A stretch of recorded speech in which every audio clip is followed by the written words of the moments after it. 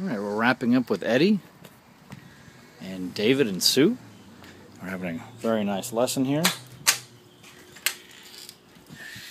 Uh, we just discussed some barking outside because they live in a neighborhood with other dogs.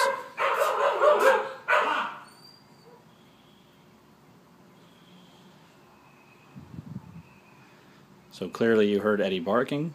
The owner gave our correction. Eddie stopped barking. I went back there. So one correction from you, one magic word, so to speak, and he went back to his boundary line area, Yep. and we're not physically restraining him. No. So just your ba got it done, eh? Yep. So, so what do you think of all this? Well, we're going to go along. Cool, excellent. Uh, did you think it would take this long? No.